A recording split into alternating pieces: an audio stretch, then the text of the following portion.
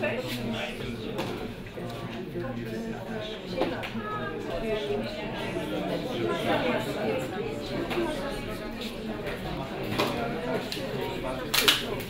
E, Ja nie mogę się powstrzymać, to jest przejaw mojej próżności, proszę mi to wybaczyć, że przywitam i pana przewodniczącego Śniadka i pana posła Giżyńskiego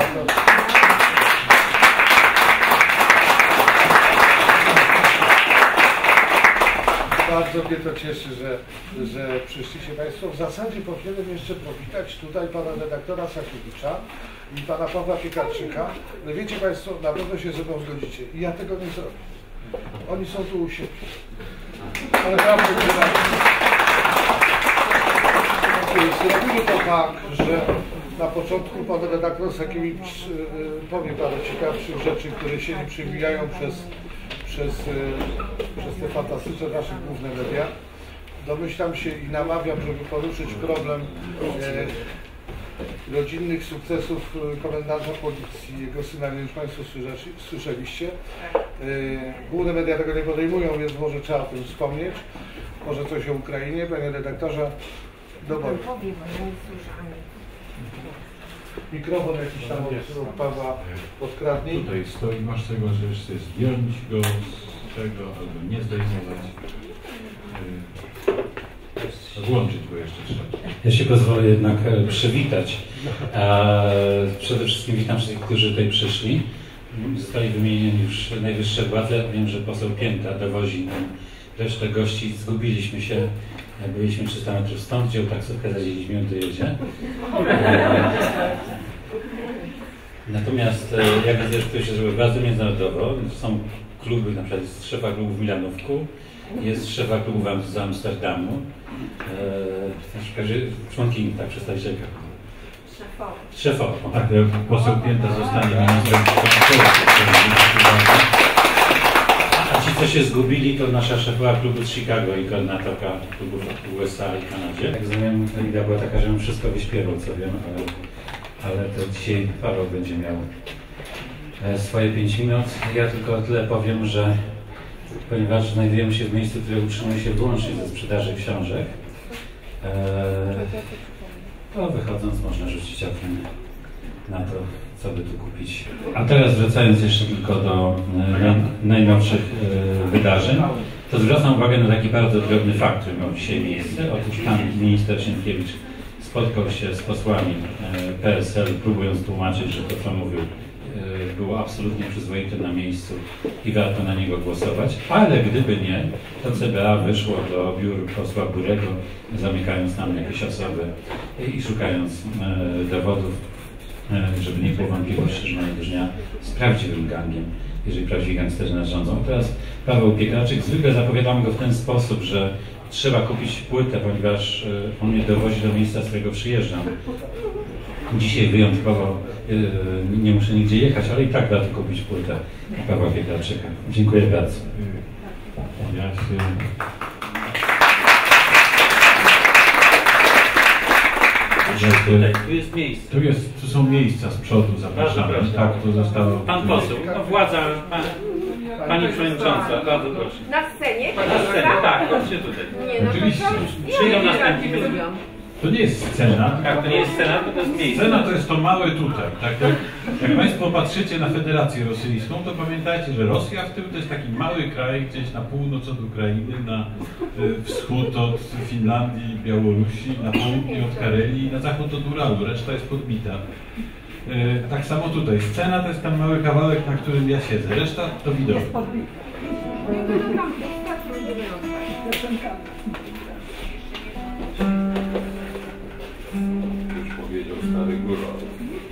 dziadku. Y, Ja zaśpiewam Państwu jakieś fragmenty. Y, On obiecał 5 minut, będzie trochę dłużej. Y, Jakieś fragmenty programu, który stanowi moją najnowszą płytę. Płyta nazywa się Dumny Oszołom. Ten tytuł wziął się z dwóch rzeczy. Po pierwsze, myśmy z Leszkiem Czajkowskim już w latach 90. w połowie mniej więcej grali śpiewnik Oszołoma. bo już wtedy byliśmy nazywani w ten sposób, już wtedy Stronnictwo Miłości, wtedy tak nas nazywało, potem zmieniały się różne, e, różne nazwy, teraz staje się najszerzej jest stosowane słowo mohery, ale to w gruncie rzeczy znaczy wszystko, wszystko to samo. E, A sam pomysł na piosenkę wziął się stąd, że kiedyś na okładce jednego z kolorowych czasopism, ja nie wymienię nazwy tego czasopisma, żeby nawet tak nie robić mu reklamy, ale to chodzi o to czasopismo, które zatrudnia niejaką paradoską Janinę. E, Wiecie co, co jeszcze śmieszniejsze, to ono ją zatrudnia na stanowisku dziennikarza. E, To coś, czego ja kompletnie nie jestem w stanie zrozumieć. Nie pojęcia. Dlatego pisma to jest dobre. ani pojąć.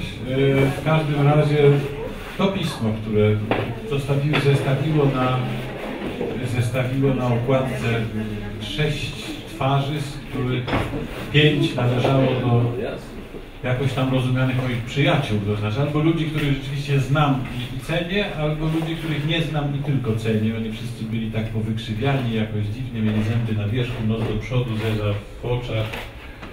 Czyli krótko mówiąc, takie miny, które wszyscy robimy, a w niektórych nas tak lubują. Tyle wstępu. Y, Zacznę od mojego ulubionego inwokacji o patrię, takie wezwanie ojczyzny.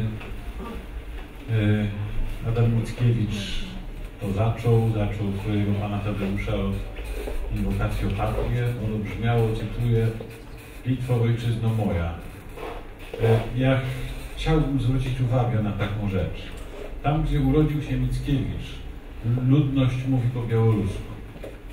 Litwo, ojczyzno moja, napisał największy i najważniejszy polski poeta. Jeżeli ktoś powie, że słowacki, wejdę w spór. I to jest taki duch patriotyzmu związany z pierwszą Rzeczpospolitą. To jest to, czego w nas nienawidzą na wschodzie. Bo etniczna Polska jest księstwem warszawskim.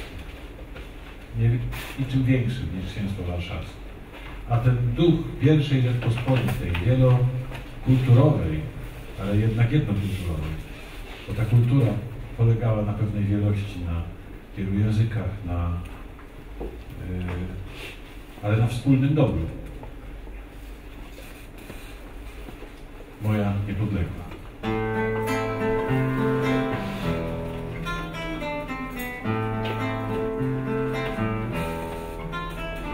Można się z ciebie naigrywać, można bezcześcić, poniewierać, na twój upadek wołać wiwat i zdusić płacz po bohaterach. Opluć cię wolno, zranić wolno, oskarżać o nie twoje grzechy, pokazać nagą i bezbronną, hołocie wszelkiej na uciechę. Wolno Twe dzieci kłamstwem mamić, lać im nienawiść i znieprawiać, mędrców szyderczo zwać głupcami, pajaców na cokołach stawiać. I nie zrozumie, kto Cię nie zna, co znaczy niszczyć Twoją pamięć, co znaczy wolność Twą okiełznać. W to, co najświętsze cisnąć kamień.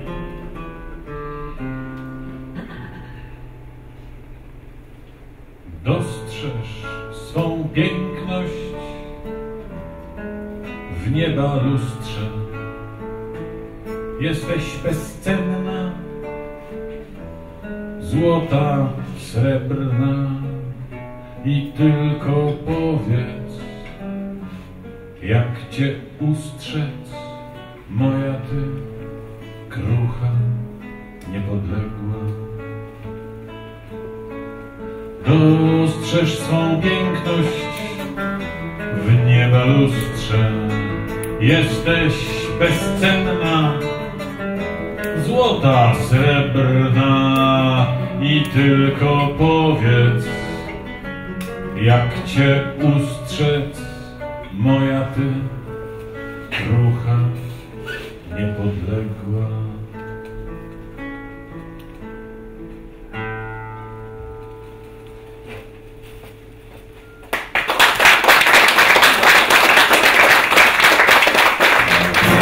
Delikatnie mówiąc, w nosie mam wyborczej każde słowo książki Grossa, film Pokłosie, Lisan Olejnikową. W nosie mam dewiantów wszystkich, zwłaszcza wojujących homo i wrzaskliwe feministki, bo są brzydkie, jak wiadomo. Bije w ton antysowiecki i powstrzymać mnie nie sposób, a do tego ksiądz Boniecki w moim domu nie ma głosu. Mam poglądy ustalone, wierzę w Boga, a poza tym jestem dumnym oszołomem, jestem dumnym oszołomem, nie lemingiem durnowatym. Choć mass media głoszą bzdury, nie mam żadnych wątpliwości co do wpływów agentury i do bolka tożsamości. A że sam nie byłem wtyką i nie brałem co nie moje, gardząc łotrów sofistyką, czwartej RP się nie boję. Nawet o raporcie maku śmiem powiedzieć, to są kpiny. Spraw fizyki list Polaków, towarzyszki Anodiny. Mam poglądy ustalone, wierzę w Boga, a poza tym jestem dumnym oszołomem, jestem dumnym oszołomem, nie lemingiem durnowatym. Słychać jak postkomuniści rozprawiają w egzaltacji o języku nienawiści i zasadach demokracji. Zwłaszcza jedna rzecz w niezłości, estetyczny budząc sprzeciw, że granice dla wolności kreślą stalinowców dzieci. Urzędnicy zamordyzmu zawsze wrogów kneblowali, dziś nabiera cech faszyzmu przymusowy liberalizm. Mam poglądy ustalone, wierzę w Boga, a poza tym jestem dumnym oszołomem, jestem dumnym oszołomem, nie lemingiem durnowatym. Zlewam antyklerykałów i ich pseudofilozofię, czyli zetki dyrdymałów, co wpędzają mózg w atrofię. Zlewam salonowych hamów, którzy siedzą z katolików, dość mam lewackiego chłamu, płynącego z odbiorników. Wołam! Trzeba kraj posprzątać, mając wszelkie zło w pogardzie. Od bankowego konta Polska mnie obchodzi bardziej. Mam poglądy ustalone, wierzę w Boga, a poza tym jestem dumnym oszołomem, jestem dumnym oszołomem, nie lemingiem durnowatym. Jestem dumnym oszołomem, jestem dumnym oszołomem, nie lemingiem durnowatym.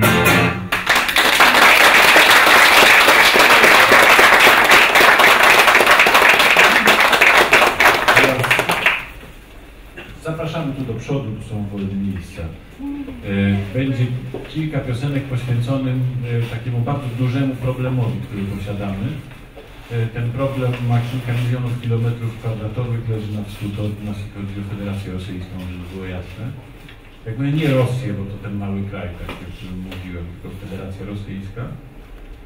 No i kilka piosenek, które chciałem zadedykować im, a tę pierwszą przy okazji również tej, no, tej dziwnej pani prezydent Warszawy, która różne rzeczy przywraca, różne rzeczy wyrzuca, różne osoby zwalnia i różne inne osoby przyjmuje.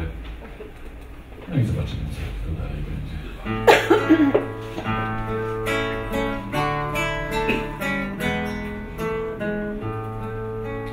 Trwał w Warszawie pomnik osobliwych gości. Oficjalna nazwa wdzięczności. Bywa, że narody innym miło płacą, chociaż w tym wypadku warto wyznać za co.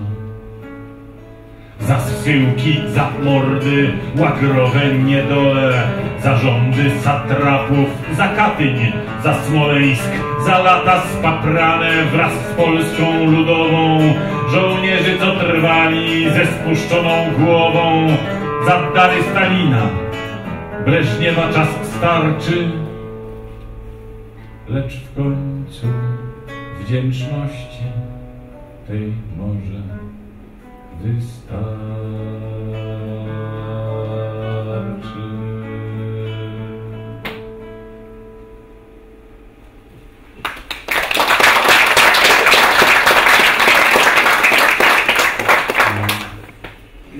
Parę razy w życiu przeżywałem to, że wokół mnie zadawano sobie pytanie, wejdą czy nie wejdą. Mieli nie wejść, bo już wiemy, że mieli nie wyjść i to, że byliśmy straszeni, że mogą wyjść, y, to było kolejne kłamstwo i wcale nie największe kłamstwo z tamtej strony. Ale ta groźba była prawdziwa i realna, bo zwróćcie Państwo uwagę, że w 1991 roku weszli do, do Litwy, tam zabili kilkanaście osób, które stanęły w obronie Sejmu i wieży telewizyjnej.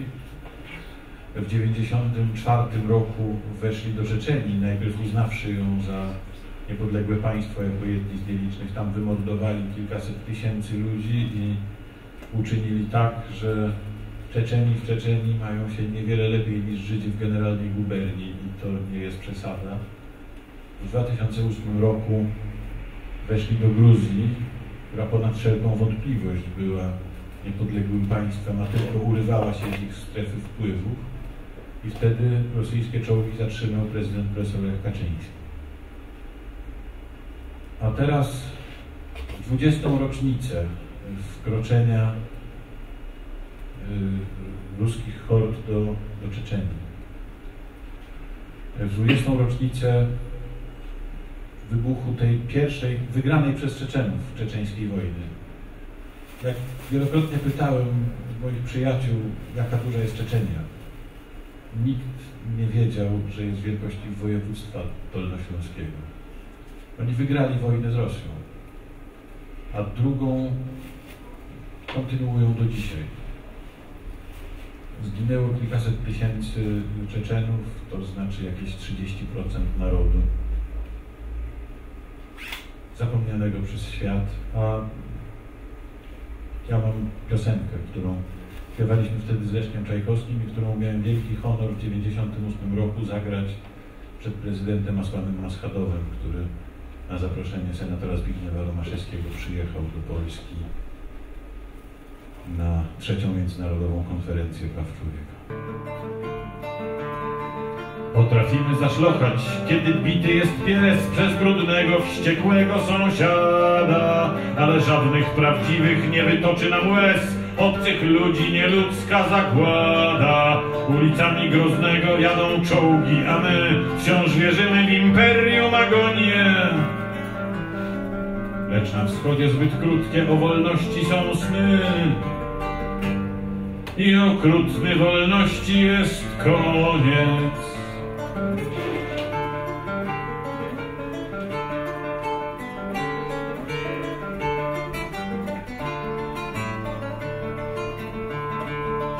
Jak potępić i poprzeć to powstanie ten bunt? Myślą siwi od trosk dyplomaci. Zginie naród, nie szkodzi, pokój z Rosją to grunt. Dla pokoju się wszystko opłaci. Na ulicach Groznego Kain ostrą ma broń, aby los swój zrozumiał i czeka. Czy dopiero gdy lufy pysk się oprze o skroń, pogwałcone są prawa człowieka?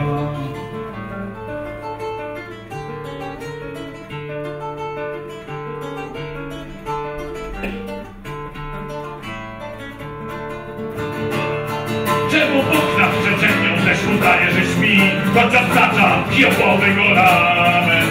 Może kiedyś im nie wie, zakołacze do drzwi, wojsko-pruskie mundury odziane. Będą białe anioły, czarną dławić się krwią, nader łatwo niewinnych zabijać. I zawołać na trwogę, już nie będzie miał kto! Odrodziła się wiedźma! Rosja! Odrodziła się wiedźma! Rosja! Odrodziła się wiedźma! Rosja!